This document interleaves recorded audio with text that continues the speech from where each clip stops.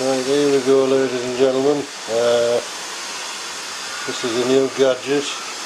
Um, I've called it I've called it Shelagh and uh, it uh, apparently it cleans your house. I think I think it's going to get tangled up in that wire actually which uh, which isn't very good. Um, now, wait a minute.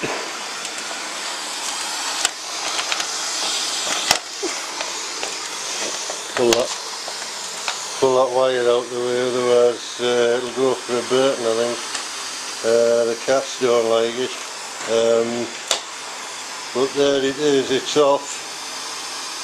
Uh, just going under the settee I think for a bit of a cleaner. It's out the other side now. Um, now, the only, it's very good. Uh, the only thing I'm disappointed about uh, with it is that uh, I did ask it if it knew anything about stockings, but uh, it didn't reply to me.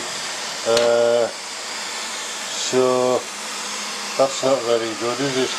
But and your cat's off, cat doesn't like it. Uh, so yeah, so there it is, trundling away, going back under the settee again.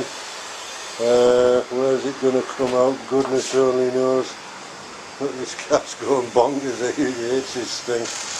Uh, anyway, uh, so that's uh, that's one of my uh, new little toys.